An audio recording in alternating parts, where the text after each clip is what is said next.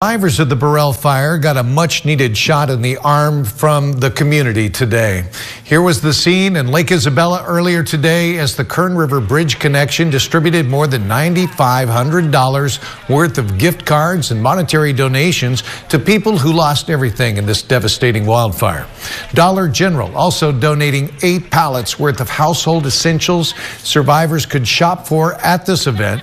Organizers say it's meant so much to this hard hit community.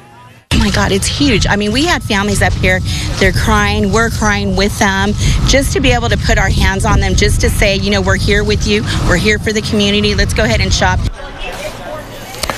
Organizers say survivors need gas and food cards most right now. Most folks are living in trailers on their neighbors' properties, and they need fuel to power their propane tanks and generators.